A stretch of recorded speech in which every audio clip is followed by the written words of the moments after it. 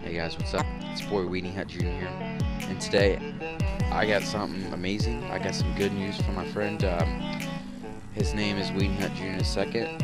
He's he's super cool. And, uh, he's honest with this, and uh, I tried this out earlier, and it actually worked. It's um, solo bot lobby, the limited XP. It's fucking crazy. I swear. And um, it's it's really simple you are you have to go to custom games like always and set up your custom game.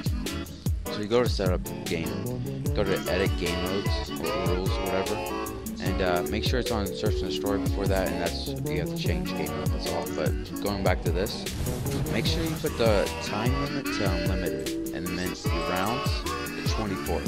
That's it. And then these, the global settings, you just keep that keep that the same.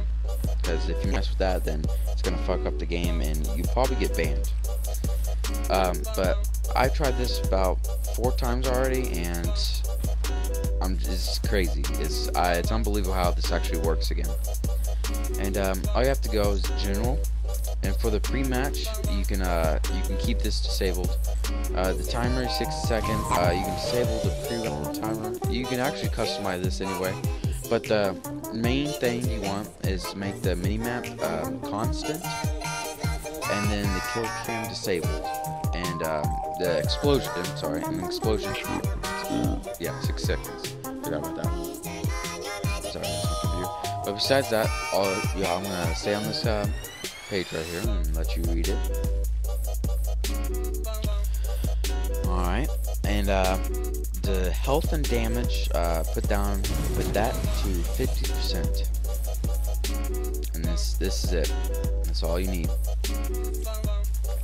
Now that you have all this ready, you go to options. And when this pulls up, you're gonna put save. And then um, I'm gonna save it as. You can save it as anything. And I named this. You can't because this can't work.